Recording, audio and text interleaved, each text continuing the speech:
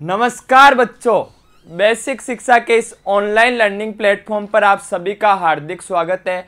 तो ये बच्चों हमारी पीपीएल परीक्षा प्रीमियर लीग का हमारा आज फ़र्स्ट एपिसोड है बच्चों, जिसमें आज हम सॉलिड स्टेट ठोस अवस्था के बारे में जो भी इम्पोर्टेंट कंसेप्ट है इम्पोर्टेंट फॉर्मूलाज है, उन सभी का डिस्कशन करेंगे। अब चूँकि बच्चों आपके एग्ज़ाम में बहुत कम टाइम बचा है तो अब आपको 2020 क्रिकेट खेलना है। अब आपको केवल बाउंड्रीज में डील करनी है बच्चों फोर एंड सिक्सेज में। इसीलिए इसी प्रयास में मेरी भी आपको कोशिश रहेगी कि आप तक कम टाइम में मैं ज़्यादा से ज़्यादा चीज़ें पहुँचा सकूँ जो आपके एग्ज़ाम में बहुत ज़्यादा बेनिफिशियल साबित हो। तो चलिए स्टार्ट करते हैं आज का हमारा डिस्कशन तो पहला है बच्चों आपका टाइप ऑफ़ सॉलिड भाई हम सॉलिड स्टेट की बात कर रहे हैं। तो उसमें जो हमारी पहली हेडिंग होगी, वो होगी type of solid on the basis of arrangement of particle अवयवी कणों की व्यवस्था के आधार पे बच्चों, ठोस दो प्रकार के होते हैं। पहला क्रिस्टलाइन सॉलिड क्रिस्टलीय ठोस। सेकंड होता है अमरफस सॉलिड अक्रिस्टलीय ठोस। अब क्रिस्टलीय ठोस को बच्चों हम ट्रू सॉलिड भी बोलते हैं, वास्तविक ठोस, और इनको हम शूडो सॉलिड या फिर सुपर कूल्ड लिक्विड बोलते हैं। अतिशितित द्रव बोलते हैं।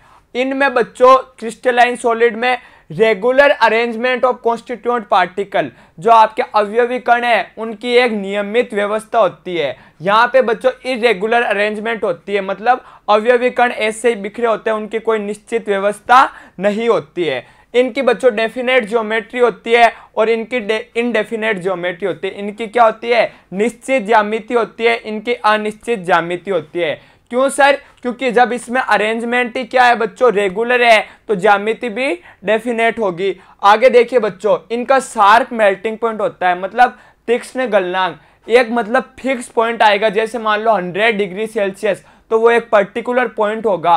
वो किसका होगा? क्रिस्टलाइन सॉलिड का। लेकिन इसमें क्या होता है? डिफ्यूज मेल्टिंग पॉइंट होता है बच्चों। मेल्टिंग पॉइंट की रेंज होती है। जैसे आपको बोल देंगे कि मेल्टिंग पॉइंट इसका 95 से 100 के बीच होगा तो वो एक फिक्स नहीं है। आगे देखिए लॉन्ग रेंज सॉलिड ये बच्चों दीर्घ पराश ठोस होते हैं मतलब पूरे क्रिस्टल लेटिस में अवयवी कणों की यही व्यवस्था होती रहती है। और ये शॉर्ट रेंज सॉलिड होते हैं, इनकी अरेंजमेंट चेंज होती रहती है। यह बच्चों एन आइसोट्रोपिक इन नेचर होते हैं, विषम देशिक प्रकृति के होते हैं। ये विषम देशिक प्रकृति क्या है बच्चों? दिशा के अनुसार भौतिक गुणों में परिवर्तन। क्योंकि बच्चों, आपके क्रिस्टलाइन सॉलिड है, उनमें क्या होता है? अरेंजमेंट ऑफ़ पार्टिकल रेगुलर होता है। इसलिए अगर आप डिफरेंट डायरेक्शन में जाओगे तो आपको फ़िज़िकल प्रॉपर्टीज़ डिफरेंट डिफरेंट मिलेगी। जैसे सर, अपवर्तनांक हो गया रिफ्रैक्टिव इंडेक्स हो गया, विद्युत प्रतिरोधकता ईटीसी अब बच्चों, इनके एग्ज़ाम्पल बहुत ज़्यादा इंपॉर्टेंट है। इसके एग्ज़ाम्पल होते हैं, जैसे sodium chloride quartz diamond graphite और इनके एग्ज़ाम्पल होते हैं ग्लास रबर प्लास्टिक ये थे बच्चों आपके टाइप ऑफ़ सॉलिड अब हम आगे पढ़ेंगे क्रिस्टलाइन सॉलिड के टाइप क्या बच्चों? आपके जो क्रिस्टलाइन सॉलिड है, उनको भी फर्दर हम चार टाइप में क्लासिफाई करते हैं. आयोनिक सॉलिड कोवलेंट या नेटवर्क सॉलिड मेटेलिक सॉलिड या फिर मोलिकुलर सॉलिड अब बच्चों कॉन्स्टिट्यूएंट पार्टिकल जिनसे ये मिलकर बने हैं आयोनिक सॉलिड में आयंस होते हैं बच्चों कोवलेंट में एटम होते हैं और मेटेलिक सॉलिड में क्या होते हैं? कर्नेल्स होते हैं। मतलब इलेक्ट्रॉन का सी होता है बच्चों, और उसमें क्या होता है? मेटल परमाणु व्यवस्थित होता है। उसको हम बोलते हैं कर्नेल और मोलिकुलर सॉलिड में मोलिक्यूल्स होते हैं। अब बच्चों, में अगर फोर्स ऑफ़ अट्रैक्शन की बात करूँ तो आयनिक सॉलिड में इलेक्ट्रोस्टैटिक फोर्स ऑफ़ अट्रैक्शन पाया जाता है। क्या sir electrostatic force of attraction पाया जाता है। कोवलेंट सॉलिड में कोवलेंट बॉन्ड होगा, सह संयोजक बंद होगा मेटेलिक सॉलिड में मेटेलिक बॉन्ड होगा। अब बच्चों, जो मोलिकुलर सॉलिड है, उनको फर्दर हम आगे तीन भागों में क्लासिफाई करते हैं। कौन कौन से सर टाइप है? वो sir non polar molecular solid polar molecular solid और हाइड्रोजन बॉन्डेड मोलिकुलर सॉलिड ये इसके एग्ज़ाम्पल हो गए H two I two C C L four argon ETC इसके हो गए बच्चों एसओ टू और एस सी एल क्या सर सल्फ़र डाइऑक्साइड और आपका एस इसका एग्ज़ाम्पल हो गया। आगे देखिए हाइड्रोजन बॉन्डेड में आपका एच टू आइस क्या हो गया सर? इसका एग्ज़ाम्पल हो गया। अब बच्चों, जो नॉन पोलर होता है, उसमें लंडन फोर्स पाया जाता है, इसमें डाइपोल डाइपोल इंटरेक्शन पाया जाता है और इसमें हाइड्रोजन बॉन्ड पाया जाता है। ठीक है सर। अब देखिए आयनिक सॉलिड बच्चों इंसुलेटर होते हैं रूम टेम्परेचर पे। जो कमरे के ताप पर ये क्या होते हैं? विद्युत के कुचालक होते हैं, लेकिन कंडक्टर होते हैं मोल्टन और एक्वोसिस्टेट। गलित या जलीय विलियन में ये विद्युत के चालक होते हैं। इसके एग्ज़ाम्पल याद रखने आपको बच्चों, जैसे N S C L zinc, blende, calcium fluoride, magnesium oxide. ये बच्चों इंसुलेटर होते हैं, एक्सेप्ट ग्रेफाइट। आपका जो ग्रेफाइट होता है वो विद्युत का चालक होता है। इसके एग्ज़ाम्पल ग्रेफाइट हो गया S I O two, aluminium nitride, boron nitride, diamond ETC ठीक है बच्चों, एक सिलिकन कार्बाइड भी कर लीजिए बच्चों, जिसको हम कार्बोरेंडम बोलते हैं एस आई सी यह भी आपका कोवलेंट सॉलिड होता है। आगे देखिए मेटेलिक सॉलिड में ये कंडक्टर होते हैं सॉलिड और मोल्टन स्टेट में। इसके एग्ज़ाम्पल मेटल जैसे ferrous copper zinc M G A U ETC ये था बच्चों आपका क्रिस्टलाइन सॉलिड का क्लासिफिकेशन आगे बढ़ते हैं। अब बच्चों एनी क्यूब कंटेंस एक क्यूब में गन में क्या क्या होते हैं बच्चों? एक तो बारह कॉर्नर होते हैं, बारह कोने होते हैं, छह बच्चों इसमें फलक होते हैं। जैसे मैं रूम की बात करूँ तो एक छत, फर्श और चार दीवारें तो ये छह इसके फेस हो गए। चार बॉडी डायगनल होते हैं बच्चों, जो आपके क्या? विकर्ण होते हैं, काय विकर्ण बॉडी डायगनल ट्वेल्व बच्चों फेस डायगनल होते हैं, छह फेस होते हैं। तो हर एक फेस में बच्चों, हर एक फलक में क्या होंगे, सर? दो बॉडी डायगनल होंगे। तो सिक्स में क्या हो जाएँगे? सिक्स इंटू टू और आपको कोई पूछ ले अल्टरनेट फेस सेंटर कितने होते हैं? वो सर दो होते हैं. एग्ज़ाम में ये क्वेश्चन आता है कि अल्टरनेट फेस सेंटर से रिलेटेड तो आपको ध्यान रखना है कि एकांतरित फलक के अंदर दो होते हैं. आगे बढ़िए. अब कॉन्ट्रीब्यूशन इन यूनिट सेल बच्चों, हम देखेंगे कि इकाई कोष्टिका में योगदान कितना होता है. जैसे मान लो, मैं हूँ, मैं ऑर्गेनिक भी पढ़ाता हूँ इनऑर्गेनिक भी पढ़ाता हूँ फ़िज़िकल भी पढ़ाता हूँ. मुझे कोई बोल दे कि आपका फ़िज़िकल केमिस्ट्री में कितना योगदान है तो मैं बोलूँगा वन थर्ड है। क्यों सर क्योंकि टोटल क्या है? तीन है। फ़िज़िकल इनऑर्गेनिक ऑर्गेनिक और उसमें से एक पार्ट तो वन बाई थ्री इसी प्रकार बच्चों, एक यूनिट सेल में कॉर्नर का कितना योगदान होता है फेस का कितना होता है एज का कितना है, वो हम देखेंगे। तो बच्चों, जो कॉर्नर होता है, उसका कंट्रीब्यूशन होता है one by eight in unit cell आपका फेस का होता है बच्चों वन बाई टू एज किनारे का होता है बच्चों, आपका वन बाई फोर। और जो सेंटर में होता है बच्चों, उसका तो कितना हो जाएगा? वन ही हो जाएगा। चलिए, क्या बॉडी सेंटर का होता है वन? क्योंकि जो बॉडी के अंदर ही आ गया। चलिए, आगे बढ़ते हैं। अब टाइप ऑफ़ क्रिस्टल सिस्टम बच्चों, ये जो आप देख रहे हो क्रिस्टल क्या जो क्यूब देख रहे हो, इसमें जो ये भुजा की लंबाई है क्या सर, एज लेंथ है ए बी सी तीनों अलग अलग है और इनके बीच में अलग अलग एंगल है, अल्फ़ा, बीटा, गामा। इसके बेसिस पे बच्चों, आपका क्रिस्टल सिस्टम को सात टाइप में डिवाइड किया गया है। सर कौन कौन से? पहला है क्यूबिक घनीय टेट्रागोनल द्विसम लंबाक्स ऑर्थोरोम्बिक त्रिसम लंबा, विषम लंबाक्स हेक्सागोनल षटकोणीय रोम्बिक त्रिंताक्ष या त्रिकोणीय मोनोक्लिनिक एकंताक्ष ट्राइक्लिनिक त्रिंताक्ष अब बच्चों, इसमें एज लेंथ की मैं अगर बात करूँ तो इसमें होती है ए बराबर बी बराबर सी। फिर आपको कुछ नहीं करना है, एक को नोट इक्वल कर देना है। फिर दोनों को नोट इक्वल कर देना है, सर। फिर वापिस एक को नोट इक्वल। फिर तीनों इक्वल। और फिर A is not equal to B, not equal to C.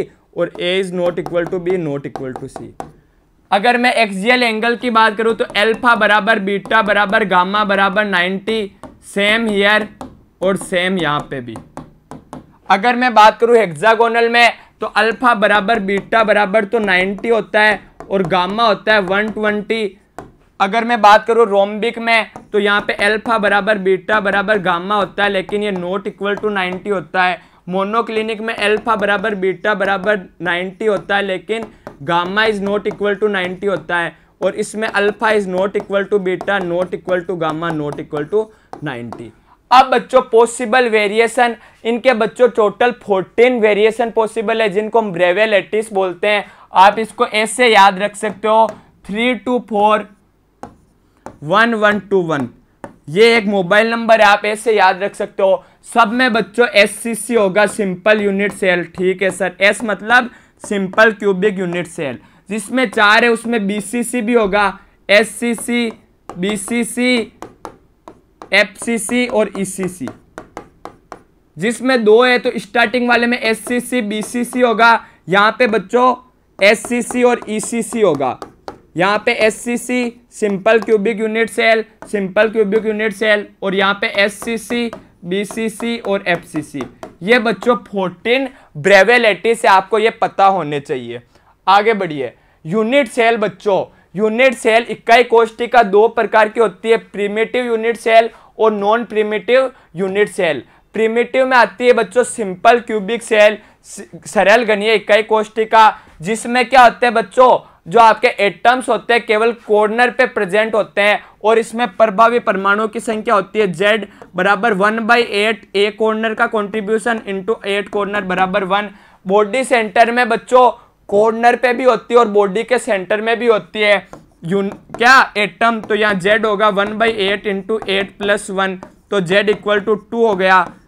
Face centre में बच्चों जो आपके एटम्स होते हैं, वो कॉर्नर पे भी प्रेजेंट होते हैं और हर एक फेस के सेंटर पे भी प्रेजेंट होते हैं। तो z बराबर वन बाई एट एक कॉर्नर का contribution into total eight corner plus एक फेस का contribution one by two into total six faces तो यहाँ से z आ गया फोर और जो एंड सेंटर है बच्चों, इसमें एटम एक तो प्रेजेंट होते हैं आपके कॉर्नर पे और कोई दो ऑपोजिट फेस के सेंटर पे any two opposite face centre तो यहाँ पे जेड आ जाता है one by eight into eight plus one by two into two तो यहाँ से जेड आ जाता है टू ये जेड होता है effective number of atom in unit cell ये आपको ध्यान में रखना है बच्चों। आगे बढ़िए। ये एक बच्चों मैंने टेबल बना रखी है कि relation between A A and R Z void percentage और पैकिंग इफिशियंसी एससीसी के लिए बीसीसी के लिए और आपका एफसीसी के लिए तो यहाँ पे एससीसी के लिए आर बराबर होता है ए बाई टू जेड बराबर होता है वन हमने देखा है पीछे। इसकी पैकिंग एफिशिएंसी होती है बच्चों बावन पॉइंट चार परसेंट और वॉइड परसेंटेज मतलब कितना रिक्त स्थान है, वो हंड्रेड में से आप इसको घटा लोगे तो ये आ जाएगा forty seven point six percent बच्चों। अगर मैं बीसीसी की बात करूँ तो यहाँ पे आर बराबर होता है root three by four A यहाँ पे जेड हो जाता है टू पैकिंग एफिशिएंसी होती है sixty eight percent void percentage होता है थर्टी टू परसेंट एफ़ की बात करूँ तो यहाँ आर बराबर होता है A by two root two जहाँ पे ए क्या है? भुजा लंबाई एज लेंथ जेड होता है फोर पैकिंग एफिशिएंसी होती है सेवेंटी फोर परसेंट और वॉइड परसेंटेज होता है बच्चों ट्वेंटी सिक्स परसेंट आगे बढ़िए। ये बच्चों वॉइड्स आ गई रिक्तिकाएँ अब रिक्तिकाएँ बच्चों, चार टाइप की होती है। ट्राइगोनल टेट्राइड्रल ऑक्टाइड्रल और क्यूबिक त्रिकोणीय चतुष्फल के अष्टफल के गणीय। अब बच्चों, तीन एटम को मैं इस प्रकार रख दूँ कि वो एक ट्राइगोनल क्या? त्रिकोण का निर्माण करे, त्रिभुज का निर्माण करे। तो इनके बीच में जो वर्ड बनी, इसको हम ट्राइगोनल वर्ड बोलते हैं और इसका कोऑर्डिनेशन नंबर बच्चों, तीन होता है, क्योंकि ये तीन एटम से मिलके बनी है। ऐसे प्रकार बच्चों, जो तीस, ये बनी है तीन एटम की वॉइड इसके ऊपर मैं एक एटम और रख दूँ तो यहाँ टेट्राइड्रल वॉइड बन जाती है और कोऑर्डिनेशन नंबर हो जाता है फोर ऑक्टाइड्रल में बच्चों, तीन के ऑपोजिट में तीन रख दूँ तो यहाँ पे कोऑर्डिनेशन नंबर हो जाते हैं सिक्स और गनीय में बच्चों, चार एटम है, उनके ऊपर में चार और रख दूँ तो यह क्या बन जाती है? क्यूबिक यूनिट सेल और यहाँ पे जो कोऑर्डिनेशन नंबर हो जाता है, वो हो जाता है सर एट क्योंकि ये एट एटम्स से मिलके बनी है। तो ये आपको ध्यान रखना है। आगे आ जाइए बच्चों वॉइड इन एफसीसी एफसीसी में रिक्तिकाएँ। तो एफसीसी में बच्चों दो प्रकार की रिक्तिकाएँ पाई जाती है। पहली ऑक्टाइड्रल वॉइड ओएचवी और दूसरी होती है टीएचवी अब OHV की पोजीशन क्या है बच्चों? ये एक तो ईच ए सेंटर पे प्रेजेंट होती है।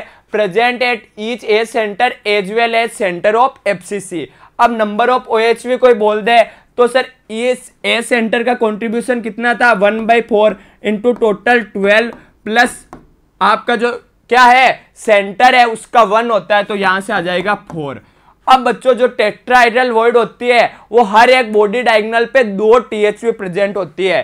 तो यहाँ पे कोई पूछ ले, मुझे नंबर ऑफ़ टीएचवी तो वो कितनी हो जाएगी सर? हर एक बॉडी डायगनल पे दो टीएचवी होती है तो यहाँ से two into four body diagonal होते हैं तो ये हो जाएगी एट अब आगे बढ़िए। की पॉइंट्स बच्चों, ये आपको कुछ पॉइंट है जो ध्यान रखने हैं। ये सर कहाँ पे यूज़ होंगे? जब आप न्यूमेरिकल करोगे, अगर आपको बोल दे एफसीसी या सीसीपी टाइप क्लोज पैकिंग में total number of atom per unit cell sir, चार होते हैं। नंबर ऑफ़ ओ पीछे हमने देखा है फोर है, और number of T H V eight है। तो बच्चों, ये number of atom per unit cell हो गए जेड अगर मैं OHV की संख्या को बोल दू एन तो हमेशा ध्यान रखना टीएचवी की संख्या होगी टू एन या आपको एग्ज़ाम में इस टाइप के क्वेश्चन आते हैं कि ओ की इतनी है तो आपको टी की पता होनी चाहिए कि टू एन होगी और same applicable for S C P three D S C P three D में भी बच्चों, वहाँ पे जो ओ एच वी है, वो हो जाएगी सिक्स और टी एच वी हो जाएगी उसकी डबल ट्वेल्व आगे बढ़िए। Density of unit cell density होता है Z into M upon N A into A cube Z A number of effective atom unit cell M A molecular mass of unit cell N A Avogadro number six point zero two two into ten की power twenty three और A है आपकी as length भुजा लंबाई. आगे बढ़िए बच्चों. Magnetic property अब बच्चों, आपके जो सब्सटेंस है, उनको पाँच क्या टाइप में डिवाइड किया गया on the basis of their magnetic property पहला है पैरामैग्नेटिज्म इसको हम बोलते हैं अनुचुंबकत्व. ये क्या होता है बच्चों? वीकली अट्रैक्ट होते हैं बाय मैग्नेटिक फ़ील्ड भी. जो आपका चुंबकीय क्षेत्र है, उससे दुर्बल रूप से आकर्षित होते हैं. इनके पास बच्चों अयुग्मित इलेक्ट्रॉन उपस्थित होते हैं. इसके एग्ज़ाम्पल बच्चों ओटो आपकी एमओटी के अकॉर्डिंग आपकी क्या है? डाई ऑक्सीजन भी. पैरामैग्नेटिक होती है F two plus C R three plus etc दूसरा होता है बच्चों डायामैग्नेटिज्म इसको हम बोलते हैं प्रति चुंबकत्व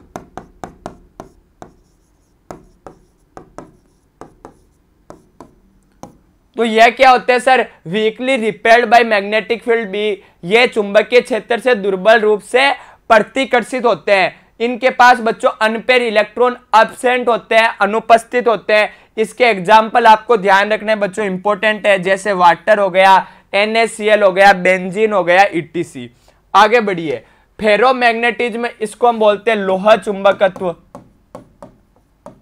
लोहे चुंबकत्व। ये क्या होता है बच्चों? Strongly attracted by magnetic field ये बच्चों चुंबकीय क्षेत्र से प्रबल रूप से आकर्षित होते हैं।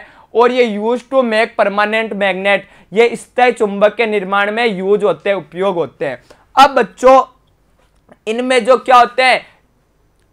मैग्नेटिक मूवमेंट होते हैं, वो रेंडमली अलाइंड होते हैं इलेक्ट्रॉनों के, जिनको हम बोलते हैं बच्चों डोमेन तो ये मान लो कोई एक अनमैग्नेटाइज सब्सटेंस है, जिसका हमें चुंबक, चुंबकित नहीं किया है। तो इसमें बच्चों जो डोमेन होते हैं, वो रेंडमली अलाइंड होते हैं। लेकिन जब हम एक्सटर्नल मैग्नेटिक फ़ील्ड में इसको रख दें तो जो डोमेन होते हैं बच्चों, वो एक ही डायरेक्शन में क्या हो जाते हैं? अलाइंड हो जाते हैं। और अगर हम अब इस मैग्नेटिक फ़ील्ड को हटा भी दें तो इनकी डायरेक्शन चेंज नहीं होती है बच्चों। यही रीजन है कि हम इनका यूज़ किसमें करते हैं? परमानेंट मैग्नेट बनाने में करते हैं। इसके एग्ज़ाम्पल फेकोनी, फेरस कोबाल निकल और क्रोमियम ऑक्साइड सी अब आ जाइए एंटी फेरोमैग्नेटिज्म प्रति लोहे चुंबकत्व।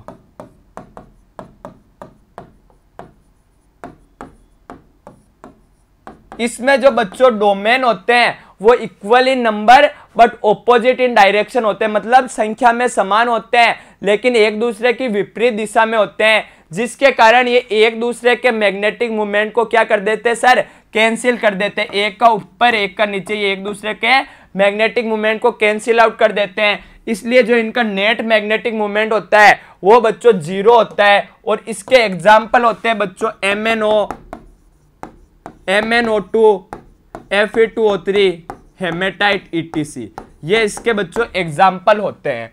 आगे बढ़िए फेरी मैग्नेटिज्म इसको बोलते हैं फेरी चुंबकत्व इसमें जो बच्चों डोमेन होते हैं, वो रेंडमली अलाइंड होते हैं। कुछ की डायरेक्शन ऊपर, नीचे, ऊपर ऊपर, नीचे मतलब कोई फिक्स डायरेक्शन नहीं होती है। इनका मैग्नेटिक मोमेंट बच्चों लो होता है कंपेरेटिवली क्यों? क्योंकि कुछ का ऊपर है, कुछ का नीचे तो थोड़ा बहुत मैग्नेटिक मूवमेंट कैंसिल आउट हो जाता है।